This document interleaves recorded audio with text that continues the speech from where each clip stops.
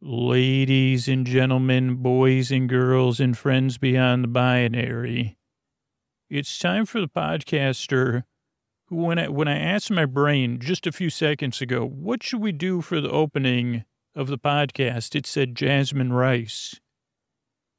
And then I, I said, talk about Jasmine Rice in a in an intro, like a teaser that's supposed to be about 30 seconds, or uh, whip up a pot of it. Uh, I mean, I know I had it for dinner, if I could think of a song uh, like Jasmine Rice on my mind, uh, that would be one of the songs that would make about as much sense as, uh, you know, the whole idea of the podcast is it only makes partial sense. Just like when I say, hey, let's set up something witty for the podcast, brain, what do you got?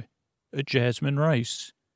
And I don't think we're the Jasmine Rice podcast, uh, but, uh, you know, uh, we're here and we're here to put you to sleep. Uh, so uh, you might not know what I'm talking about. Be, bar- I barely do too.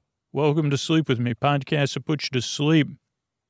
And those of you that are regular, multiple episode listeners, if you could just listen close, because this is the way we bring the podcast uh, to you free and free for everybody else. Uh, thanks. Oh, Mystery Bard, a lot of people help out on the show. Who are they? Uh, thanks to Mystery Bard. I'm at Dear Scooter on Twitter and Instagram. That's where you can find me. And, uh, you know, a huge, huge way to help the show. One listener initiative. If you're listening and you get a lot out of the podcast, you want to help the show in a huge way, let one person know about it. Or, you know, let a bunch of people online know about it. Maybe one person it'll resonate with. Uh, you know, or if podcasting comes up, just let them know about the show, your honest experience but I would love for, for the podcast to grow a little bit here to, as the, the, year winds down. Uh, so if you could help me out, bring me one listener. That'd be a huge help. One listener initiative. Uh, we did it a while back and uh, appreciated. Uh, and what do you say we get on with the show? Uh, hey, everybody, it's uh, Scoots, and I don't know if you've been on the fence about becoming a patron, but uh, now's the time to think about it. We got a lot of exciting stuff going on over there. But I don't know if you know the basics or if you're a patron and you haven't set up your patron RSS feed, but whether you listen all night, you listen in the middle of the night, you listen eight times a week, you listen three times a week, but our usual schedule on Patreon is like Sunday nights. Uh, the, we, you get a brand new episode early, and it's a little bit more sleep conducive because it doesn't have as many interruptions. Then on Tuesday, Monday, and Tuesday nights, m- most patrons uh, get a story only episode. So people that just like the stories or like to listen all night. Uh, then on Wednesday night is a brand new uh, episode. It comes out early. And then Thursdays are normally, if you're a $10 patron, uh, a few Thursdays a month, you get all intro episodes, brand new all intro episodes that are only available on Patreon. Uh, sometimes there'll be another exclusive or something from our archive. And I looked recently in in the five dollar patron feed. There's over 800 episodes, and there's well over a thousand episodes available. That includes you know different styles episodes and stuff in the ten dollar and twenty dollar patron feeds. So if you listen to Sleep with Me a lot, or you're a super fan, or you want to be a part of a community. I mean, I think my favorite part is, you know, the, the brand new episodes that go out to patrons, they have secret patron messages at the beginning. So I guess what I'm saying is if, if you really enjoy the show, and you want to get more out of it, you want more to sleep to, become a patron. Sleepwithmepodcast.com slash patron, P-A-T-R-O-N. That's uh, sleepwithmepodcast.com slash patron. Thanks, everybody. Uh, hey, I don't know if you've checked out our merch store lately, but you better get over there. We got stickers. We got a boyfriend shirt. We got a lot more stuff in the works, uh, plus all the merch you've come to love. Uh, stars on the rear end of those uh, sleepy pants and plenty more. Go over to sleepwithmepodcast.com slash store. Uh, that's sleepwithmepodcast.com slash store. Check out our merch and uh, let me know when you get your swag on. Let me know about it. Uh, thanks, everybody. All right, it's time for the Sleepy Supporter Zone. It's a, one part of the podcast, you know, it's at the beginning, it's upbeat, a little bit, you know, a little bit over the top uh, because uh, it makes me happy to be able to thank the listeners who empower the show so I could be here for you. I love that you don't have to pay for this podcast. And I wanted to thank Courtney, who supported Native. You say, man, who, who, whose armpits smell so great? And I said, well, mine do. Mine smell pretty good right now. I got candy cane on. Just thanks for asking. Uh, but I wanted to thank Courtney for supporting Native. And if you're listening and you support a sponsor, uh, let them know about it. Let me know about it. And I can try to thank you here on the Sleepy Supporter Zone. You know, tag them on Twitter or Instagram so they know our partnership's valuable. And so other people know, especially if you're excited about it. See, check out what I got from Grove or check out these amazing scents from Native. Uh, so other listeners find out about it. And it helps us keep this podcast free for everybody. So uh, thanks, Courtney. The Sleepy Supporter Zone is now over. Oh, Mystery Bard, a lot of people help out on this show. Who are they? Chris Posty Poster Son sounds like an earful. Wrote the theme song. Edits episodes. Carl W. The Legend. Also edits episodes. Kenny, Scotty, and Jennifer. Runner, runner, runner. Eric and the team at Astound are on the website. I am the mystery bar. I do the lullabies, yeah. I do commissions at jonathanmann.net. I'll write a song for you. Any reason at all. You can tell me the story and I'll make it personal. You see the kindness shine straight on through when the listeners form their own Facebook group. Keith, Stacy, Sarah, Laura, Julie, and Jennifer. These are your moderators. Get support, dear Scooter, on Patreon. Buy the merch and support the sponsors. You can find anything you want at sleepwithmepodcast.com. And we're so proud that we could dance to be part of Night Vale Presents. Oh, thanks, Mystery Bard. It's now time for me to slow it down because it's time uh, to get on with the show. What do you say? Uh, hey, are you up all night tossing, turning, mind racing, trouble getting to sleep, trouble staying asleep? Well, welcome. This is Sleep With Me, the podcast that puts you to sleep. We do it with a bedtime story. All you need to do get in bed, turn out the lights, and press play. I'm going to do the rest. And what I'm going to attempt to, to do is create a safe place where you could set aside whatever is keeping you awake, whether it's uh, thoughts you're thinking about, uh, physical sensations, so things on your mind, things you're physically experiencing, any feelings or emotions coming up, uh, changes in time or temperature or routine, you know, any of that kind of stuff. Uh, or uh, someone else's routine is impacting yours. Maybe you work second or third shift, or maybe you work, uh, you know, different types of shifts. I would like to know if anybody works in morning news because I watch my local morning news and I can always empathize with those, uh, everyone that does a job there, whether it's on camera or off camera.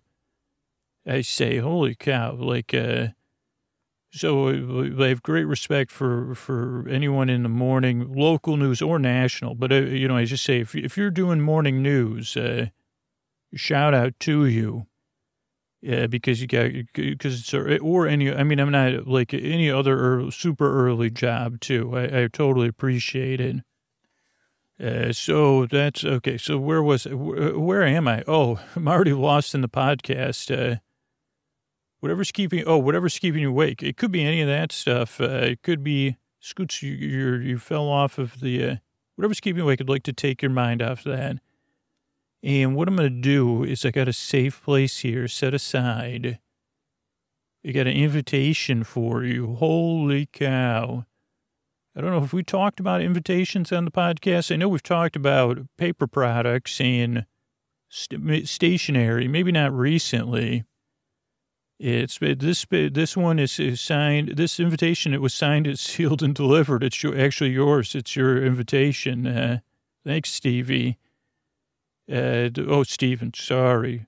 Oh, no. Uh, okay, well, I could call, I mean, this is, I'm just in the beginning of uh, uh, intro, so it, I would say Mr. Wonder, but uh, that just sounds, that make, makes me giggly, even though, I, you know, I'm a professional, so I'm not giggling now.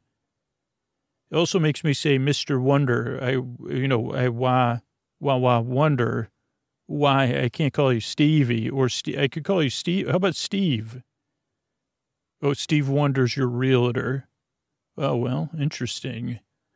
Okay, so uh, where was I? Sorry about that. I got off track there. Oh, you have an invitation for you to this nice, safe place. Now, if you're new, I'm glad you're here. I'm going to send my voice across the deep, dark night. I'm going to use lulling, soothing, creaky, dulcet tones, pointless meanders, superfluous tangents, uh, ums, ahs, extra, you know, filler words, confu- like uh, confused logic, illogical, all those things. Uh, but really, what I'm going to try to do is keep you company while you drift off. So if you're new, one, like I said, I'm glad you're here. I hope this podcast can help. Now, it doesn't work for everybody, but I certainly hope it works for you. Here's a couple of things to know. Structurally, what to expect. The show starts off uh, with a little teaser, ladies, gentlemen, boys and girls, and friends beyond the binary. Uh, then I try to think of something witty to say, which I have about, you know, one in 10 chance of doing that. Then there's some business and that business keeps the podcast, like the people that take action on that support the podcast being free for everybody. So that's a wonderful thing, eh, but necessary because I do not want the podcast behind a paywall. My goal is for you to be able to listen to it for free if you wish, or for new people to come in. So that's a business. Then there's an intro. Now, the intro is the first thing that can throw off the new listener because usually intros are efficient and they're just an introduction.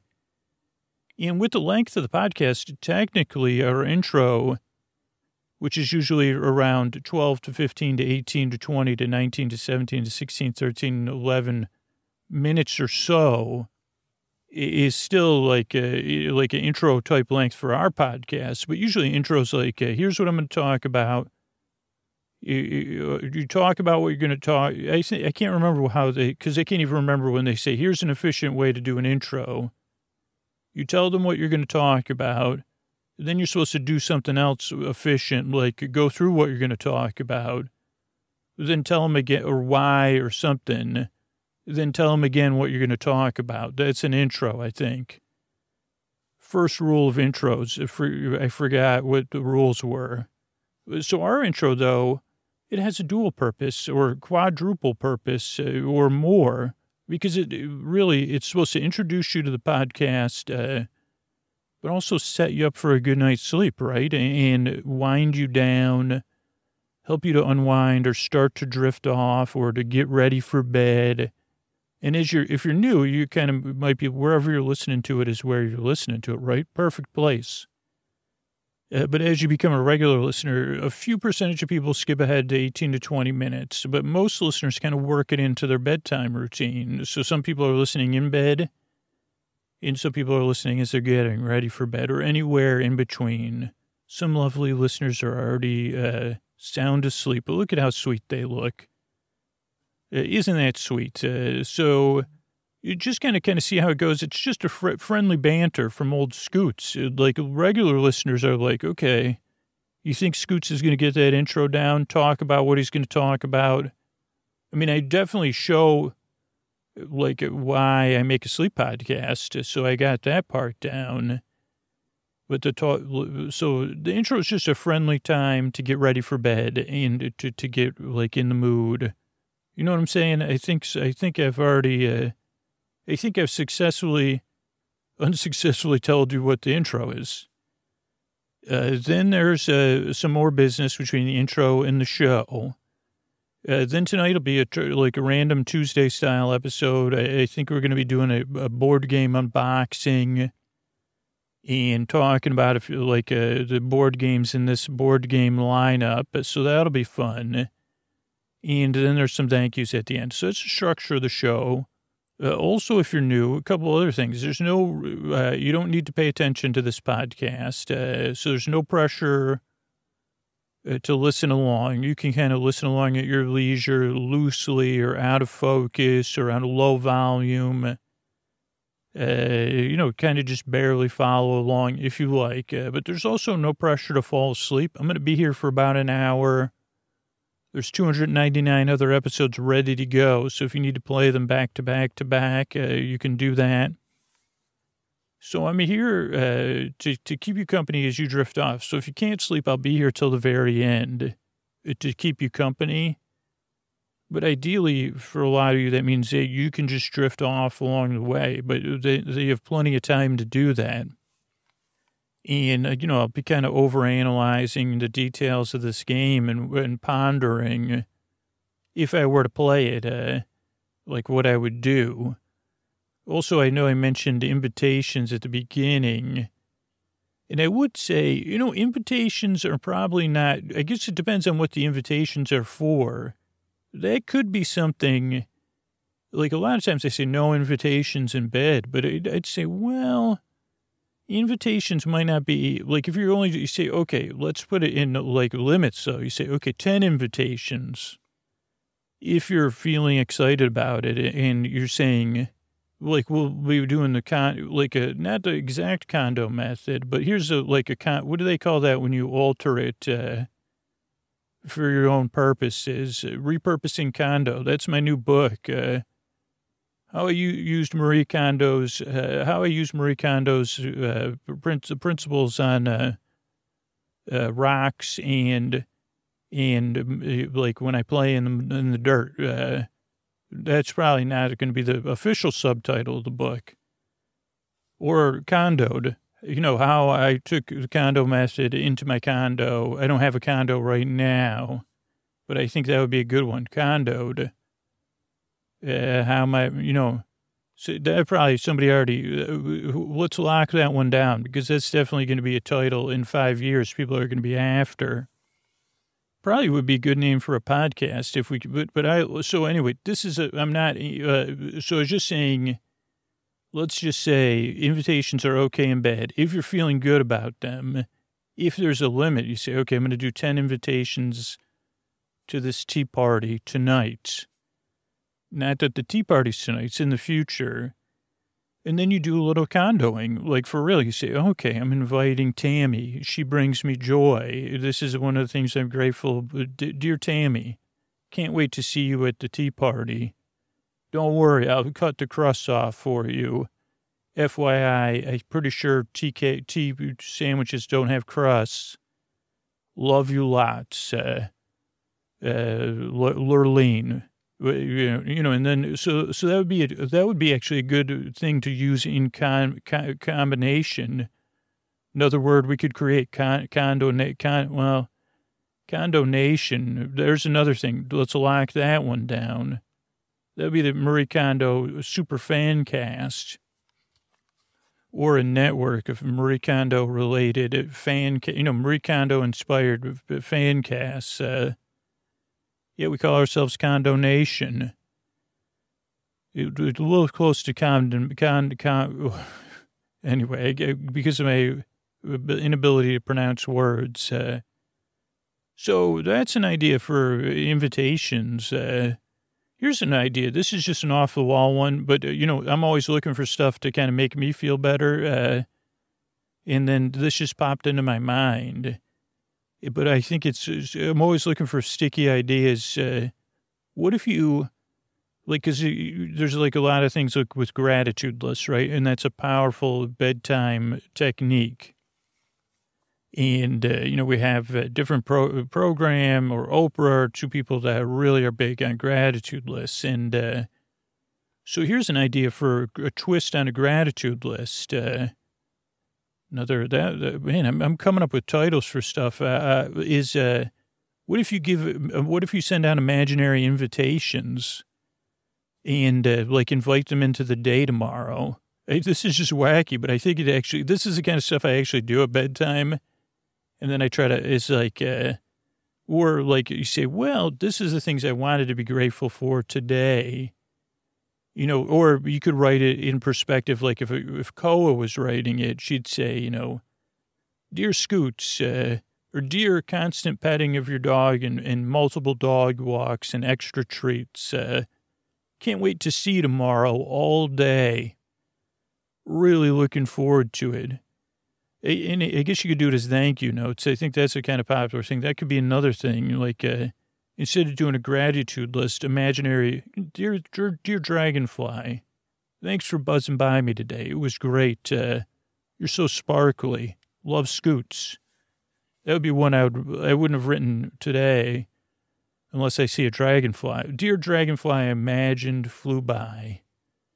It was you were pretty great. Uh, maybe different than a regular drag. And then I would send, I guess, dear dragonflies of the world. Uh, I know we don't technically live in the same area, and I don't know if you're seasonal or not, but I'd love to see you tomorrow. I'm having a dragonfly party. I don't have any idea what any dragonfly, you know, I don't know any other things you might like.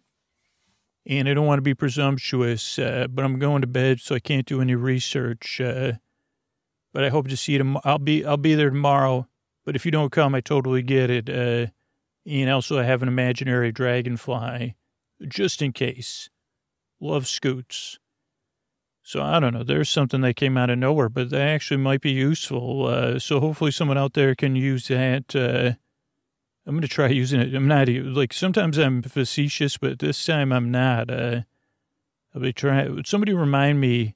This will be this episode will be out like months and months after I recorded it, so it'll be a good experiment. Like check in with me and see if I'm using that the invitation method uh, or the thank you. I mean, I know thank you, sir thing. So anyway, the main thing is I'm really thankful you're here.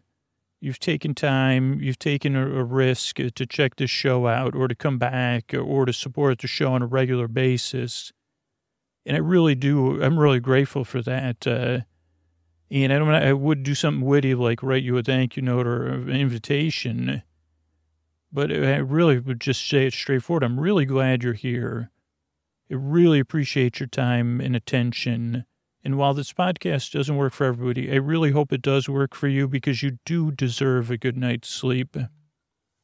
Uh, so I'm glad you're here. I work very hard. I yearn and I strive because I want to help to put you to sleep or, or, to be here as you drift off or as you can't sleep. Uh, so thanks so much. And here's a couple of cool ways we're able to keep this podcast free for everybody. Uh, hey, it's Scoots. I wanted to check in with you about two things if you're a regular listener. If you're a patron, please uh, go to sleepwithmepodcast.com slash Patreon FAQ and make sure your Patreon feed, your bonus feed is, is set up in your podcast app of choice. Uh, if you don't know how to do that, all the instructions are over at that page. And there's a link to our, our support team on that page to see, oh, I'm stuck. I can't do it. Just go to sleepwithmepodcast.com slash Patreon FAQ and then if you're not a patron and you listen to the podcast like more than uh, two or three times a week, uh, like more than the episodes normally come out, and you either want more amazing content to sleep to, story only episodes, episodes with fun messages, only patrons here, maybe all intro episodes. If you love all intro episodes, $10 patrons get them every other week. Uh, but it's really like a, a, a, pride in membership, I guess, uh, because the patrons that I hear from, not only do they love the podcast, they love the idea that they're supporting the podcast that's there for them. Like they see it as a two way street. And I appreciate that. Like about uh, one out of every 50 people that are regular listeners support the show. And so that's an exclusive club, like super fans of the show. And, and I mean, I couldn't do without those people. So I really, really appreciate it. So whether pride and membership appeals to you, we're having the real goal in the end is to have more sleepy stuff. And I'm able to do that on the Patreon uh, if if you listen to the podcast a lot, or you listen all night long in particular, or five nights a week, just check out our Patreon, sleepwithmepodcast.com slash patron. You'll get more out of it. And so will all the other listeners, the other 98% of people listening to the show. Uh, so think about it, sleepwithmepodcast.com slash patron. And uh, thanks. All right, uh, everybody, welcome to a, a, like an actual board game unboxing. We do these uh, from time to time. So far, no one's sent me a board game. I think one person, one company inquired one time uh, to like actually have us talk about a specific game, and then I said, "Well, you probably if you're going to choose that, then you probably have to pay me." And uh, so then, so I still just buy my own games, uh, just so everybody knows. And I usually buy them when they're on sale. And I buy them to play with either Antonio Banderas or my daughter. And uh, so this game, I've, I've played a version of it. Um, actually, I've never played the board game version of it. So this is one where I'm going, uh, have we done this before where I've gone uh, from the, um, modern era back to the board game era, which I think the board board games are still a modern era thing, at least to me. Uh, so maybe I'll talk about this, but just for anybody that's re- never heard one of these episodes. So I'll talk about a board game and then I'll unbox it. I took the wrapping off, but I have not, like, I literally have it in my hands. Uh, and it's a really nice box. Uh, it, the, the art is not exactly like, uh, totally bringing me into the game. Uh, but it, and it's heavy and it's a heavy duty box. So those are all good signs. And it's not really a playful game anyway, so that's why the art is a little bit more not real to life. But so the name of the game, well, it says Alan R. Moon. This is so I'm looking at the cover of the game. I'll do the top cover of the box, and then I'll talk about the top cover. Then I'll talk about the history with my history with t- the game, and then uh, flip it over, look at the back, open the box, and go from there. Uh, so the name of the game, or the cover of the game, it says Alan R. Moon, and that's in some cursive gold writing. Ticket to Ride, which is in uh, multiple fonts, uh, like in a fun, like a Ticket to Ride theme park type font, and red lettering, but with behind it, uh, I don't know what that's called, but uh, multiple colors and then it says New York. and the NEW of New York is an American flag, and the York, uh, Y-O-R-K, is, it's all cursive. The Y-O-R-K is also kind of like out of focus uh, rest of the flag, I think. So Ticket to Ride New York is the name of the game. It's made by Days of Wonder. And then on the front cover is like a cityscape of New York, uh, looking down a street with the elevated train, I'm guessing because I'm not good at guessing eras that it's like 1950s. That's only because one of the people looks like what's his name from Grease or Fonzie from Happy Days, both of which are pop uh, culture icons that I know not everybody knows.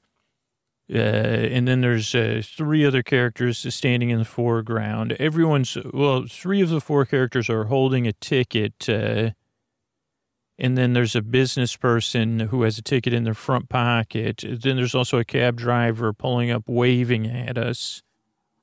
So there's five uh, humans, I guess we, we could call them, that we can see their faces. They're all smiling. Actually, the business person's not smiling. They have, uh, they're looking, they look like they're about to explain something. Uh, the cab's license plate reads Dow 218. Uh, it's, it's, so, oh, I'm saying it's like, it looks like it's the 1950s, maybe. Could be anywhere from the 1950s to the 1970s. That's how good. Uh, I can almost read the bus, but I can't quite. Uh, St. John's, it maybe says. And it's actually not a, maybe it's not a bus. Maybe it's an electric streetcar and there's the subway. We could see the Chrysler Building and the, I think just the tower of the Empire State Building. And so that's pretty much the cover of the game. And let's see, what what, should, what do we need to know? Oh, so Ticket to Ride. Now, some of you are saying Ticket to Ride. Oh boy, Scoots, that's a classic. And uh, because, like I don't know where this game is most popular. I would assume it's not the U.S., but it maybe it is the U.S. Uh, because in, in on the internet, I've encountered people that play Ticket to Ride, but I've never encountered it in someone's home or just in my small circle. I'm not, I don't, I'm not friends with a ton of board gamers, uh, uh but I haven't been anywhere where someone's like, let's play, let's sit down and play Ticket to Ride. But people do. Now, my experience with Ticket to Ride and I'll try to keep this meander tight, but you know, you never know. So I have a lot of experience with ticket to ride on the on the iPad or the iPhone. And 99.9% of it is very positive, uh, except for the fact that uh, they change they change something around or something. But but uh, I think I was like, uh, so okay. So there's a game called Ticket to Ride. Let me explain that. Yeah, let's do that.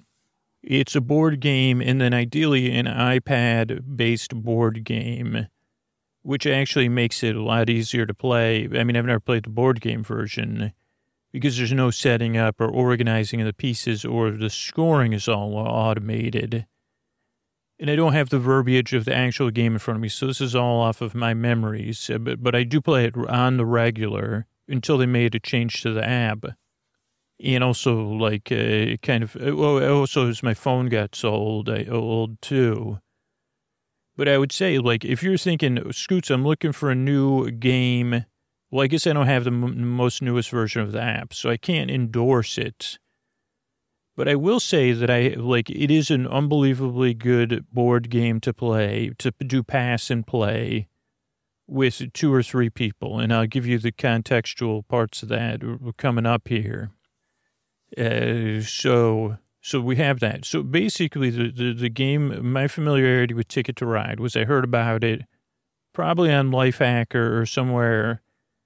It's like, oh, okay, this is of all the great board games, you know, uh, after uh, Catan and uh, Carcassonne or whatever, you know, the big the big dogs, which of course uh, my familiarity with those wasn't great either. But the, the Ticket to Ride's usually up there, and they, they had a not the top top of the top. I mean, no offense to the game. Uh, but up there. And then I think it's a little bit more age accessible because my daughter and I have been playing it uh, for at least, I'd say, six years, maybe podcast, oh, probably maybe even seven or eight years. Uh, but I, I could be again, I could be told all of this could be wrong. So, okay, so oh, what's the game? Yeah, you're right. We should talk. So the game of Ticket to Ride is Ticket to Ride a train. Is uh, it's not really about riding the trains though. The edition I play is a Continental U.S. edition, and I think I tried to buy. Again, I had some issues with the app and. uh, I may have tried to get an, a European edition or another edition because there's other maps and other add-on versions of the game, which would be very cool uh, and make it more fun. And I've heard that some of the other editions are cool because they have tunnels and things like that. But I haven't played that. So one day, I don't know why what I'm waiting for. I mean, I guess because I have Carcassonne on, on, my phone, and my daughter and I have been playing that uh, on and off. Uh, when we have to wait for something in a line, particularly, and uh, we still haven't even figured. We've played, probably played like eighty-five games of it, and we still haven't figured out exactly how to like the like how, how to actually win, uh, like the scoring. But Ticket to Ride's much easier to figure out. So basically, you're trying to you're trying to be like a train tycoon, and build train lines across the continental U.S. And you get certain cards. There's different. I don't know. I guess it, maybe the rules will come out in this in a little version, but basically you're trying to connect uh, cities. So you get a you get a couple of cards. This is like unboxing the game in my mind, but you get a couple of cards that are like routes. So let's say you want to, uh, you get a route like to connect New York to Miami. Now that's pretty far, and you probably have to you'll have to stop in some cities on the way and then you have train cards that are in a variety of colors, and you want to have you have to have matching colors that match the. You're trying to match colors and collect cards, and then c- connect those two cities. And, and there's a variety of ways to do that. But if your card is to connect New York to Miami, you need to find a way to control a route between New York and Miami. I guess so you could sell tickets on it. Uh, and then there's other ways to add on points with like the long, longest route, and you're trying to, you know, obviously get more routes, and you get points for other stuff. So that's basically not the rules, but a general idea. But this game, so on the phone, I don't know if they had, they like because again, I, I, I bought like an early version of the app. I think I bought this was before before freemium. I, I think.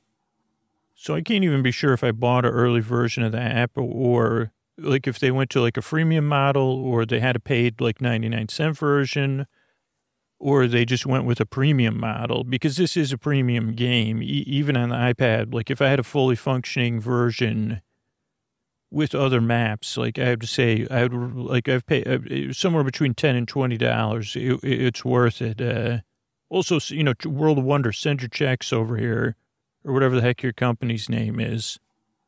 It's probably say, oh, well, actually, the app rights are controlled by, you know, Laserbeam Enterprises. Okay, so but this game is so good. Like it's it's beautiful on the iPad and a little bit easier to read and stuff.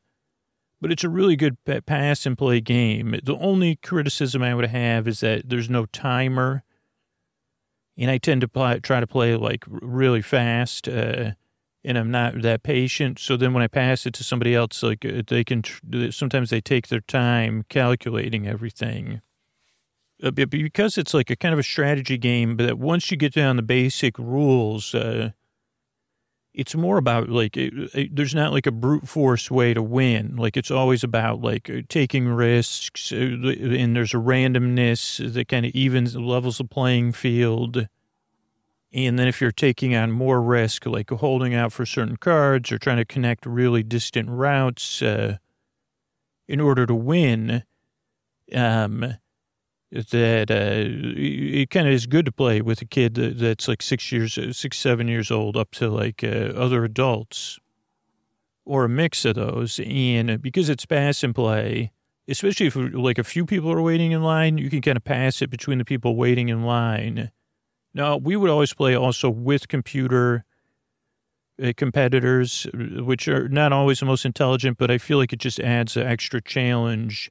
Also, because there's like a slight uh, like a competitiveness to it like usually you're competing more against the randomness like if you're only playing with the people you're passing playing with it, could be like the the v, v-i-n d-e-c-t you know that word like where the competitiveness it could manifest itself in like taking uh, like a property or something like a monopolization. Like you say well i'm just going to get that property so you can't have it.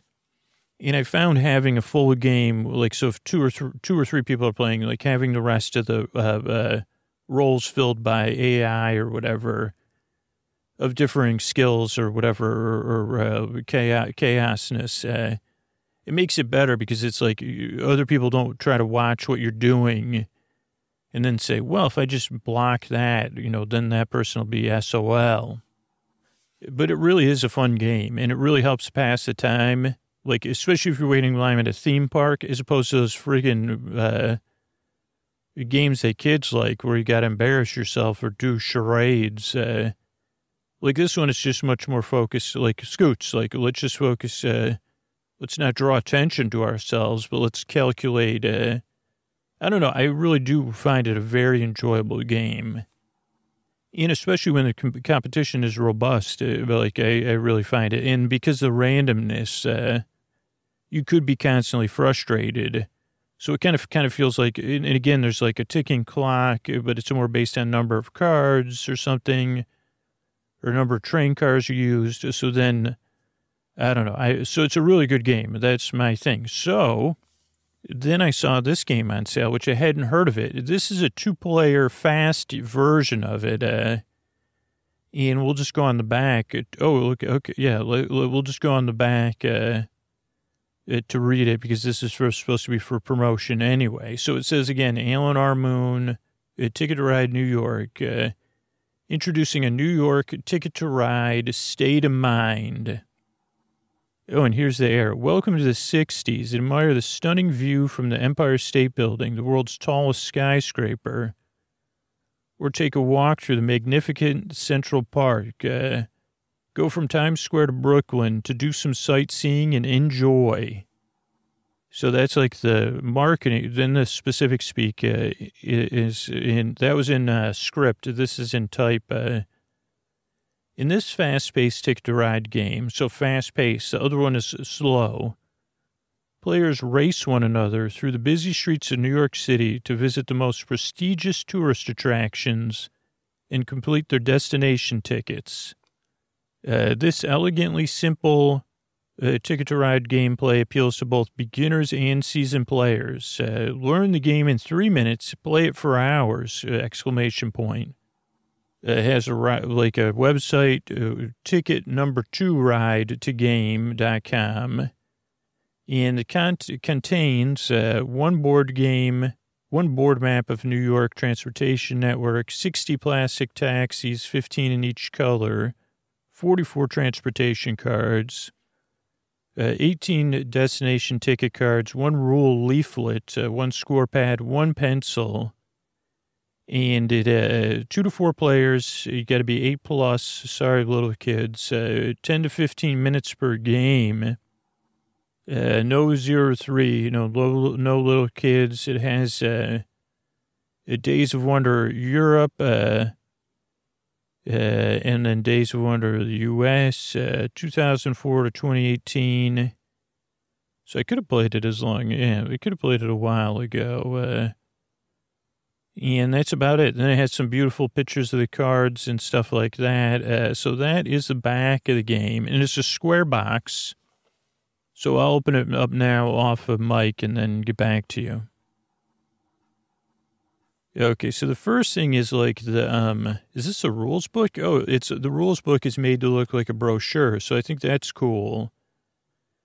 And it has it says welcome to the Big Apple. New York City, introducing famous originals. So some internal New York jokes there. And it has like a watercolor in the background of Central Park and maybe Central Park West, a couple buildings. And then opening it up, uh, we won't read through the rules, but uh, enjoy your visit going from Central Park to the Empire State Building and from Times Square to Brooklyn. Yeah, it has, yeah, everything that's included. Uh, the setup, which you set to place a board game map in the center of the table. Each player takes a set of uh, plastic colored taxis. Shuffle the transportation cards. Deal a starting hand of two cards to each player. And then place the deck uh, near the board. Flip the top five cards from the deck face up. Uh, if by doing so, three of the five face up cards are taxi cards, immediately discard all five cards and flip five new cards. Uh, face up to replace them. So this is like the game where you could either draw from the flipped cards or a random card. And that's kind of thrilling because there is a wild card. Uh, uh, then you shuffle the destination tickets and deal two cards. So you start off with two destinations, two cards each player. Oh no, each player must look at their de- destination ticket cards and decides which one they wish to keep. You may keep one or both. Uh, if you choose to keep only one, uh, the return card is placed on the bottom of the destination ticket deck, uh, and then this place uh, next to the board. And you have to keep your destination tickets secret till the end of the game. Uh, yeah, again, in the box, it has everything. Well, this will be good. Uh, I don't want to go, well, we could go through all the rules. This is good. Uh, I'll try to paraphrase. So the object of the game is to score the most points, of course, and you score points by claiming a route between two adjacent locations, successfully completing a continuous path of loops, uh, routes between two locations on your destination tickets, and by connecting uh, tourist attractions. Uh, you also lose points for each, of the destination ticket cards you do not complete by the end of the game. So that's like the risk or reward if you're trying to really win. Okay, so the game turn. Youngest player goes first. Uh, you go clockwise, uh, and you take turns till the game ends. On your turn, you can only do one and only one of the following three actions: draw a transportation card, uh, claim a route or draw destination tickets, uh, which is the same in the main game. Okay, so draw transportation cards. Transportation cards match the route colors on the board.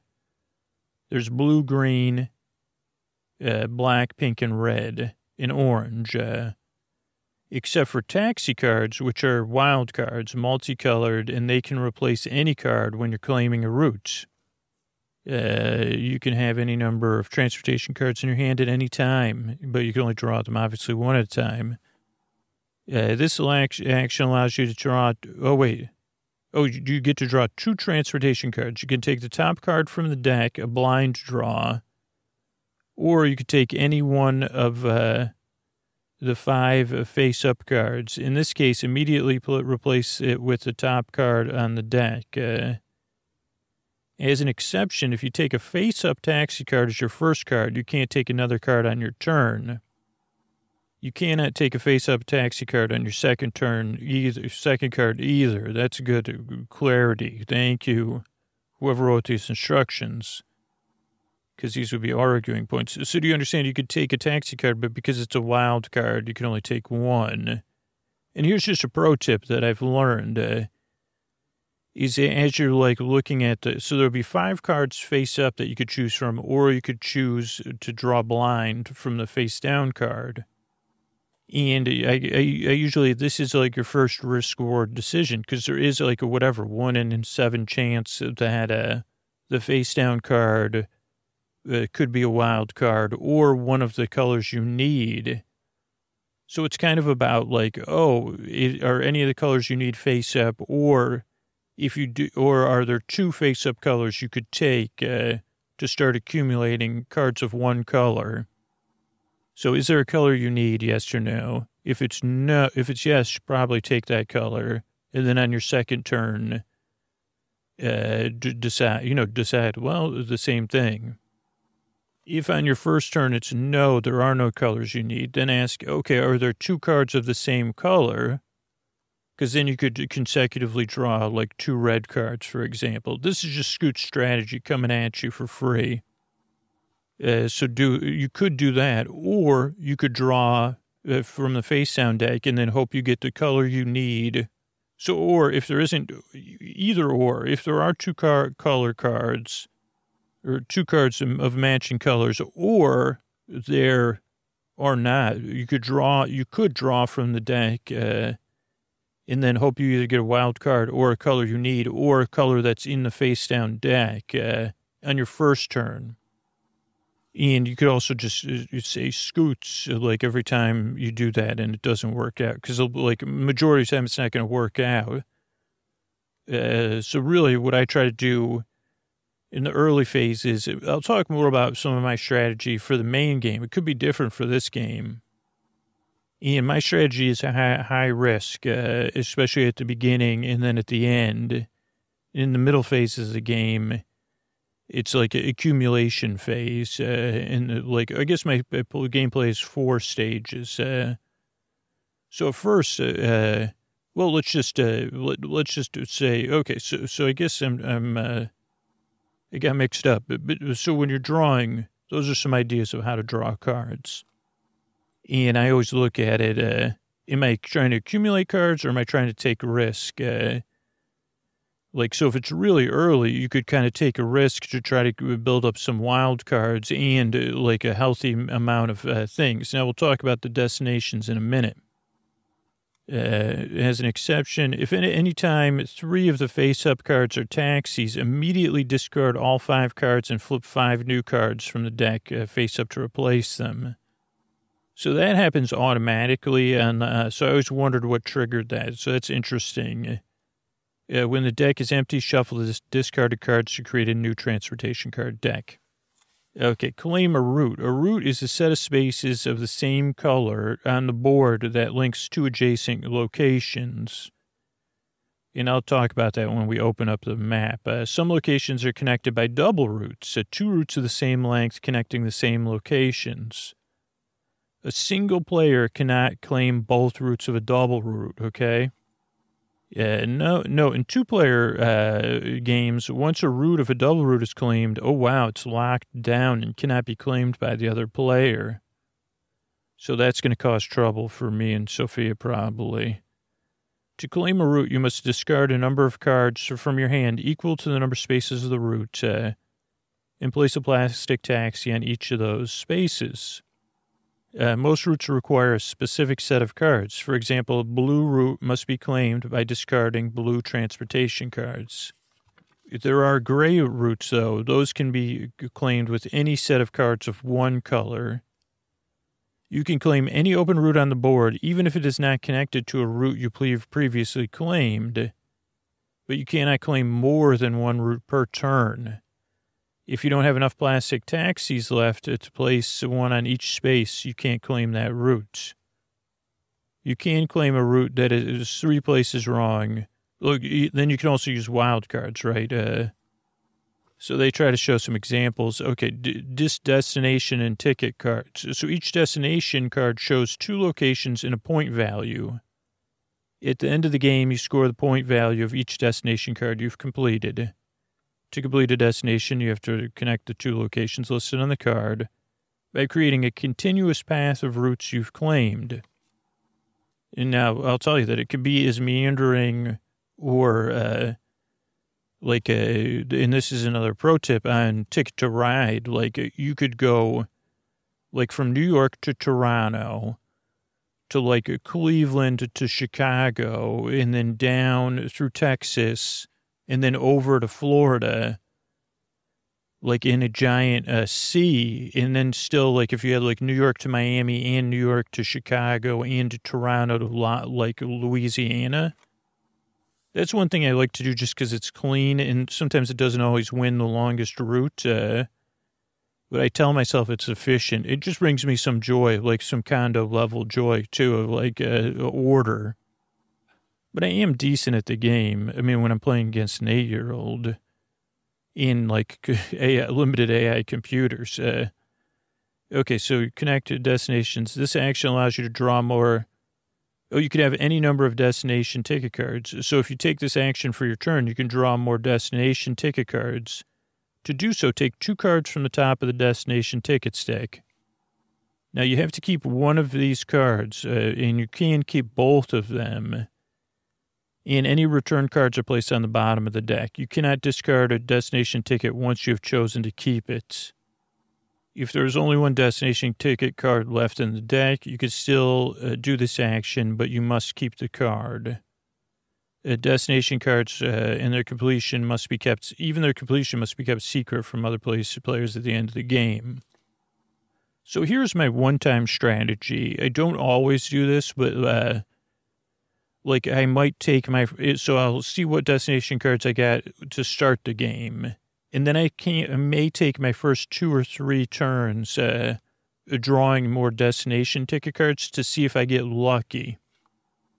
And what I mean for, by that is like destinations that are overlapping. So say you did have uh, New York to Miami, and then you then on your next turn you draw destination cards and you happen to get like Toronto uh, to Atlanta, and then on the next turn you happen to get uh, New York uh, to uh, St. Louis or something those are all tickets in the same, same general direction. So then you can really pile up some points. So that's the reward. The risk is that you could also get really unlucky. And then you have like New York to Miami, which is a pretty long route. And then say, say I also have like New York to Los Angeles. Then I might not draw t- ticket cards because it's like, okay, that's going to be tough.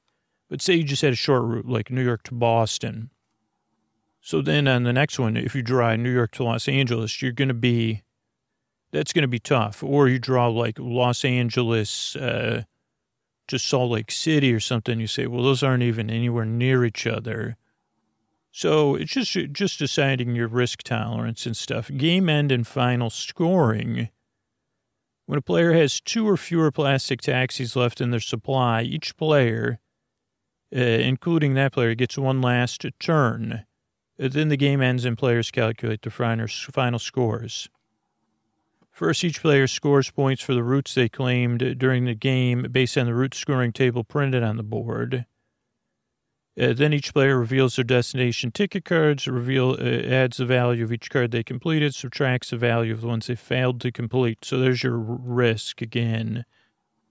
And finally, each player scores one point for each tourist attraction that is connected to one or more of the routes they claimed. Player with the one po- most points win. In the case of a tie, the player who completed the most destination ticket cards wins. If players are still tied, then they share victory. Uh, then there's an ad. If you enjoyed your visit to Big Apple, how about traveling across the whole United States from New York to the Midwest Great Plains and the Rocky Mountains to the California coast? A Ticket to Ride, which is a game I must have been taking, talking about, is designed for two to five players. Uh, features a giant board of the rail network in North America at the dawn of the 20th century. And then the credits. The game design is by Alan R. Moon. Illustrations are by Julien Delval. Uh, graphic design is by Cyrille uh, Daujean. Uh, special thanks from Alan and DOW. Uh, to all those who play tested the game Janet Moon, Bobby West, Martha, Ian, Michelle, Scott, Aiden, Adrian, Lydia, Alicia, Jonathan, Casey, Emily, Lawson, and Ryan. So that's instruction. So let me get out the board next. Okay, it just noted the the scorecard is very small. It's cute, uh, but it's very small, the size of a business card. So for keeping score, that's uh, funny. Okay, so I'm opening the board, and it's uh, so it's lower Manhattan. It goes from like goes from mid like uh, it goes from uh, Lincoln Center down to Brooklyn. That's the only borough. So let's see. It has a funny, fun grape soda. Like it has some cute uh, designs on there. So it has a fake cat soda cap on there. Uh, it has a New York City, the brochure. It has a ticket to a magic shop or a magic show from 1925. Uh, another theater show, Showtime, uh, orchestra, February 11th, 1961 has a key to room 1209 at the Wonders Hotel. Uh, then let's see down here. It looks like it has a transportation. It has a couple different transportation tickets, and then it has the scoring thing. So one taxi equals one point for a route. Uh, two taxis equal two points. Uh, three taxis equal four points, and four taxi routes equal seven points. So you can see how they multiply in like longer routes uh, more. Okay, so some of the ones, uh, okay, so this is something I don't understand. Some of them have circles with pennies, which I assume means they're a tourist attraction, maybe. Uh, but there's a Lincoln Center that has a red circle. That's the furthest uh, west, uh, northwest. Uh, then in the middle is Central Park. Uh, then south of Lincoln Center is Midtown West. Uh, then a little southeast of Midtown West is Chelsea. Uh, then uh, south uh, of Chelsea is Soho. And then at the southernmost point of the island is Wall Street. Uh, uh, then heading south from Central Park is Times Square. Then a little southeast is the Empire State Building. A little bit more southeast or due east is from Times Square is United Nations. Uh, southeast from Empire State Building is Gramercy Park. Uh, then a little southwest of that is the Vill- uh, Greenwich Village. Uh, then east of that is East Village. Uh, south of the East Village is the Lower East Side.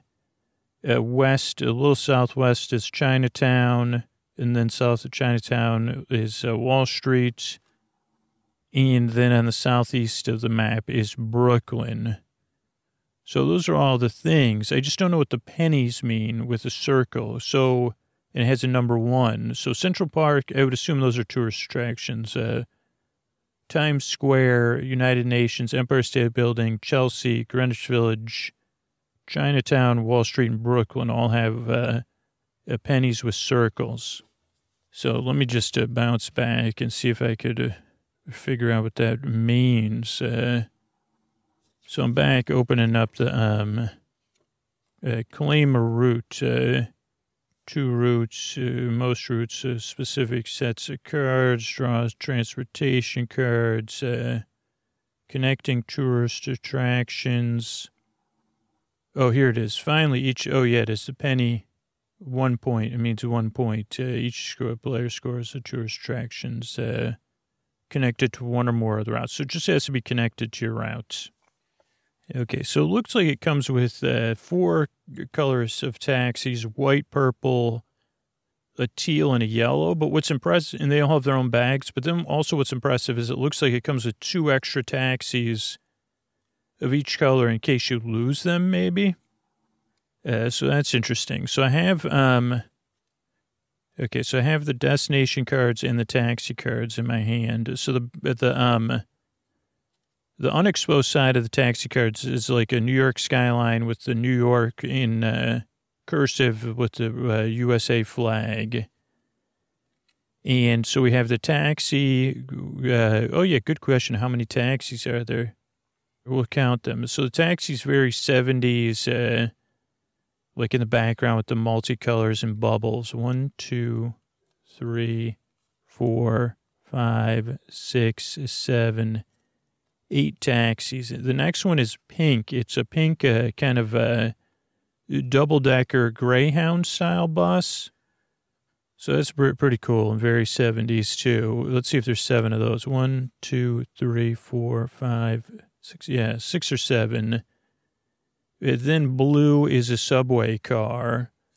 Uh, let me just count those. One, two, three, four, five, six, six maybe. Yeah, then the next one is green. It's a city bus, like a 70s, 60s city bus uh, with some green. And probably the same amount, six or seven of those. Uh, then gray is a little bit rougher. Like, so maybe the um, blue is an elevated train, and then, uh, or I guess the silver is the elevated train. A little bit rougher silver subway car in a black, or the card is either black or silver or gray. Then um, the red is like a electrified uh, city bus, uh, kind of like we see in San Francisco, but a little bit more of a 70s. And then there's orange, which is your school bus. Uh, so that's pretty fun. Uh, I like that. That makes it a fun part of the game. And then we have the destination cards, which I'll count out. One, two, three, four, five, six, seven, eight, nine, ten, eleven, twelve, thirteen, fourteen, fifteen, sixteen, seventeen, eighteen. So 18 divided by 4, I think it's 4.5. So that's interesting when you play with four players because that'll definitely keep it like, uh, uh, keep it interesting. Now, the back side of the card, it says City of New York Board of Transportation, New York Transit System uh, valid for 20 cents, one fare. It also has like what looks like a subway token and a couple transit tickets on there. Uh, so a little ev- evocative. And then looks look at the possible destinations. Uh, and we'll think strategy. So the first one I see is Times Square to Soho, um, which is worth six points. And then there's also Times Square to East Village. So this is what I'm talking about. These haven't been shuffled. That's four points. And then there's Times Square to Brooklyn. So maybe I'll shuffle these later and just see. Then we have a, a smaller route uh, worth two points, Lower East Side to Wall Street. Uh, then a six point route, Chelsea to Wall Street. Then an eight point route, U- United Nations to Wall Street. So I'm already seeing some opportunities for some big points. Uh, then Central Park to Midtown West is three points. Uh, Central Park to Gramercy Park is four points. Uh, Central Park to Chinatown is eight points. Uh, Central Park to Chelsea is five. Uh, then you have Lincoln Center to Empire State Building is three. Uh, Lincoln Center or Empire State Building to Greenwich Village is three. Empire State Building to Brooklyn is seven. Chelsea to Brooklyn is eight. Uh, the UN uh, to Midtown West is three. Gramercy Park to Chinatown, four. East Village to Soho is four. And Lincoln Center to Greenwich Village is, is six. Okay, so let's do a little strategy session here. I'm going to open the board up again. And then we'll just practice like if I was playing a game, like the, if we, let's just practice if in the first two or three turns after drawing, we won't do any gameplay, but just strategy of the destination cards. So on the first, uh, so I tried to shuffle the cards. Let me do like one more deck switch or cut the cards. So let's just pretend on my first, uh, on the setup of the game, I got two transportation cards. So I'm looking at them.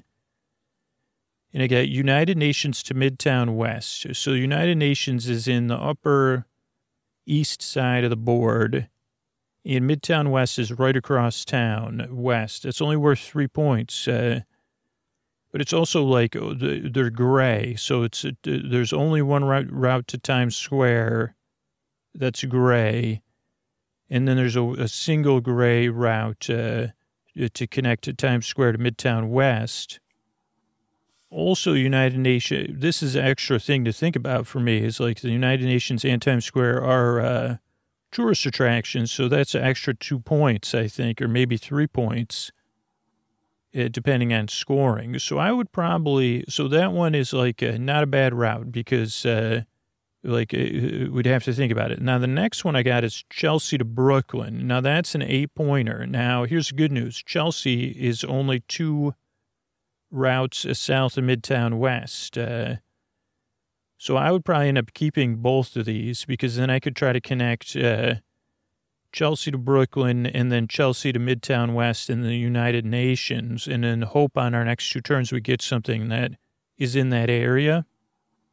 So if this was my first beginning, I would just keep both these destination cards, and then let's pretend this is the first round. I'm going to take more destination cards. Most people are going to be actually doing things, and let's see how we did. So on our first round, or so, what do we have here? We have I got Central Park to Gramercy Park. Uh, so this isn't perfect, but it's not a disaster. And then so Central Park is in the the furthest north, and Gramercy Park is that's a four pointer, and Gramercy Park is uh, it's kind of in the mid east of the map. So that's four points. So it's like okay. I mean, I've never played this game before, but now I'm saying okay, could I use that still?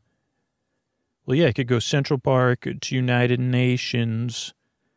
Uh, to Gramercy Park. That's a pretty nice route. And then maybe connect Gramercy Park to Chelsea somehow. Yeah, I could do that. Uh, and then keep working my way towards Brooklyn. So I definitely would keep that card too.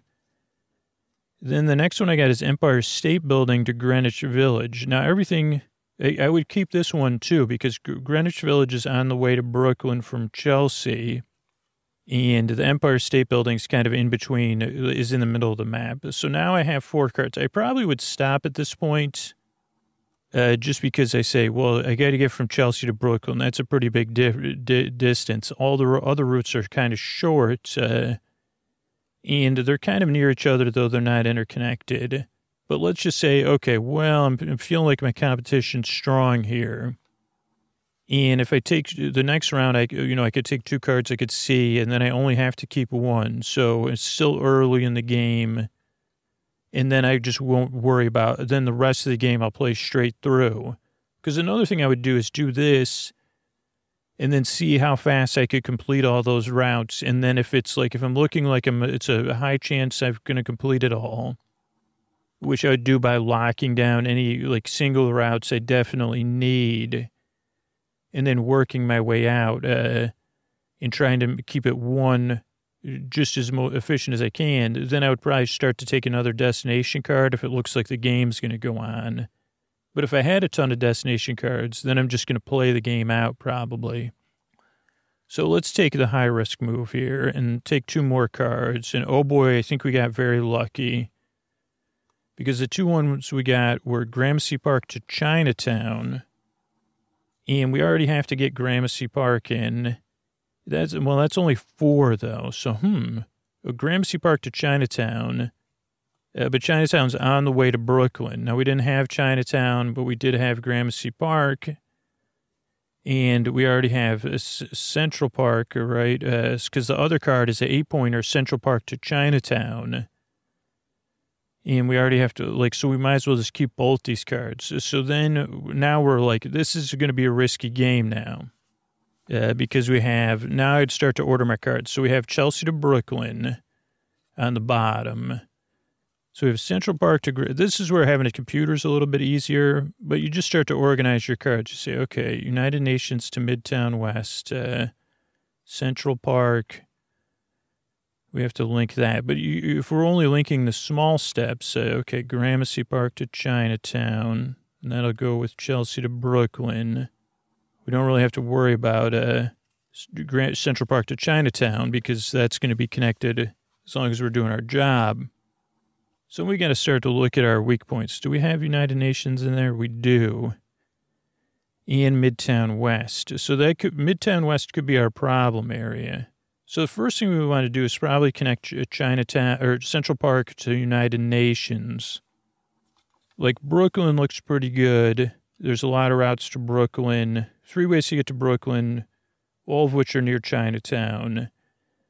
Uh, Greenwich Village to Chelsea, there's a, is robust. Uh, so I think our biggest risk right now is uh, well, okay. So I do have a strategy. So we would get so what's our first priority business is connecting Central Park to the United Nations. Then do we have we do we don't have Times Square, right? You're right. So we just have. Uh, then we would try to look at ideally connect uh, the United Nations to Empire State Building. That's a two black. Central Park to uh, um, United Nations is a three pink. So those would be on my critical watch list to say, okay, we need pink and black trains. Then we want to connect to probably the Empire State Building to Midtown West or to Chelsea uh, to finish out those routes. Would it be great? Yeah, that would be great. Uh, so then we say, okay, if I could connect the Empire State Building to Midtown West, that's a two green. Uh, then I almost don't have. Then I like I, I don't almost like Chelsea's pretty safe. Uh, so then we'd have the top half of the map locked up. We'd get three pink, two black, two green. And we'd have like our top part of the map locked up. Then we know we have to get uh, Gramercy Park, we have to get to, which is another option with that. Uh, we have to get Chelsea in there and Greenwich Village. So I'd probably look at trying to connect to Chelsea to Gramercy Park. Uh, like I just go with whatever, whatever, because we could connect to Midtown West or the Empire State Building or the United Nations. There is a two orange between Chelsea and Gramercy Park, uh, but there's also ways to connect it to the Empire State Building, so that's pretty good. And once we have connect, like either, well, we have to connect uh, some part of our monster route to either Chelsea or Gramercy Park, right? So either way, if we connect one of those and it's interconnected to our whole route, then all we have to do is connect either uh, Chelsea or Gramercy Park to, to, to uh, Greenwich Village. And we don't have the East Village, right? So we don't have to worry about that. Uh, oh boy. So then we're in pretty much, I mean, I don't want to start bragging, uh, but once we get uh, Greenwich Village attached to uh, is that really it? Wow. Yeah, we would be, I don't know how many trains you get. So we could be like in trouble for that. So I might have taken too many cards for that. But then we really are in a dominant position because basically all we have to do is connect Greenwich Village uh, to Chinatown and Brooklyn. And we could do that if we need to by indirect means uh, because lower Manhattan is very busy. Uh, like we could use, uh, we could go like a long route from Chelsea to Soho. We could go from Greenwich Village to Soho. We could go straight to Chinatown. We could go from Brooklyn to Wall Street to Chinatown. We could go from Brooklyn to Wall Street to Soho to Greenwich Village to Chinatown. If we if we needed to, though, I bet you those options would be more limited. We could go to the East Village and the Lower East Side. So yeah, I wouldn't feel terrible about that. I mean, this would be a high. We would probably win the game, uh, but we would have to get kind of lucky on some of our card draws. We'd have to be very efficient in card counting as far as like, okay, how many cards other people have left, how many taxis are left, and putting down trains. Uh, like as we get them, but locking down routes and making sure the other player's not trying to block us because uh, we wouldn't want to lose any of those main northern routes uh, just because once those were locked down, then it start to be inefficient. So we'd want to try to place things efficiently. But I would think we'd be in good shape. Like it would be really like, uh, how are we drawing? How well are we getting lucky with like getting the colors we need? Uh, how aggressive is the other players? Because there's sometimes players, especially the AI players, that just start playing, playing, playing and they're putting down routes even if they're not connecting destinations. They're playing really fast. And if you get a couple of those fast players, then we're going to be in last place. So this strategy that we played with that many destinations is really a, like a, it is an all or nothing thing, but it wouldn't be an all or nothing right away. Like uh, we would be in the game until the game ends, and then we would probably either win or come in last. Yeah, but it, it it is a kind of it is a kind of aggressive play I do like to do for this for the bigger game. So I probably would, and you'll find out like with this one, it'd be like okay, there's just not enough taxis and cards to go for that many destinations, and then you could adjust in the next game. So it's a little bit about uh, this game, Ticket to Ride. It's a great game. Buy the uh, app version. I'll have to, maybe I'll buy the new, yeah, I'll buy the new app version and let you know. So when this comes out, uh, what the latest version is like, uh, so that, yeah, you say, okay, Scoots, I'm going to, I'll pay whatever, 10, 20 bucks. That's, I mean, it's definitely worth it to me. And also, by the time this episode comes out, I've played a lot of this uh, home version. Uh, so yeah, let me uh, let me tuck you in there. Hope you have dreams of uh, uh, choo choo chewing and bus bus bussing off to dreamland. Good night. All right, I wanted to thank everybody that uh, made commented on Castbox and uh, uh, YouTube, but now I have to look up uh, Castbox searching comments. Uh, okay, uh, someone asked why is the intro so long, so they must not have liked it. Uh, uh, someone else uh, can't can't even make out the words they're saying. Okay, so that's another.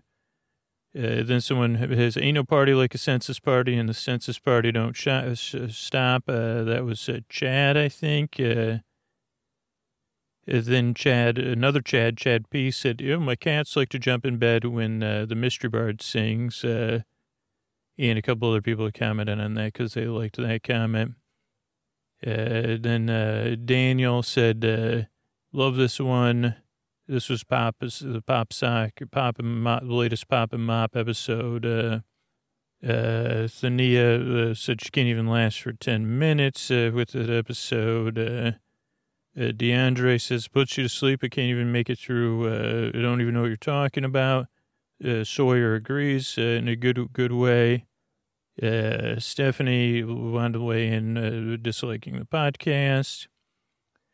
Uh, um, uh, Ch- Chad uh, always sleeps better with it in the phone. Matt, so like, people are very honest on here. Matt said that was awful. But I guess it's, I think sometimes people think we're getting paid for it, like, paid for the listens or two. So then they get extra mad. Like, I'm to unsubscribe. Uh, but yeah, it's free. So, uh, uh, stutter, someone didn't like the stutter on one of them. Uh, but the podcast still helps them in general. Uh, Taylor was a new listener. They liked it. wow, this is like a bit like YouTube. Then John weighed in in a different way.